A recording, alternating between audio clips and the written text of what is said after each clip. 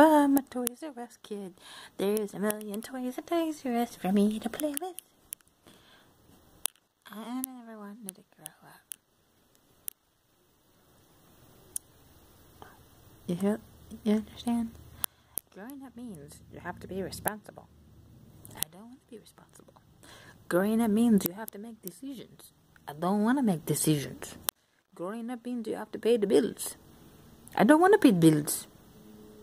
Bill, why you do this to me? Why you kill my money tree? Yeah. I never wanted to grow up. And when I hit high school and graduation, I bawled like a baby. There is video out there somewhere of me bawling my eyeballs out because I didn't want to grow up. I was comfortable, I was happy, I was whatever. Well, that was until I did grow up. And I grew out of the, flew out of the nest, swimmed away, took the leap. Whatever metaphor you want to use. And when I went off to Bible college, I was like, wow. Yeah, growing up, you do have responsibilities. You do have to be decisive, and you do have costs. But it doesn't mean it doesn't have to be fun.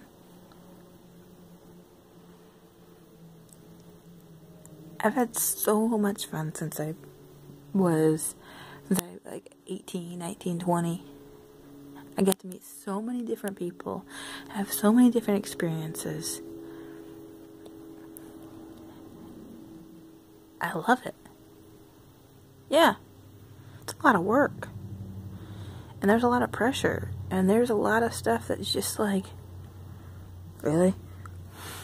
But there's also a lot of fun.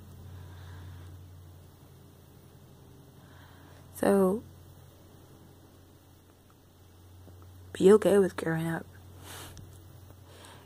Because it, it's work. But you get to discover so much. Well, crustacean out.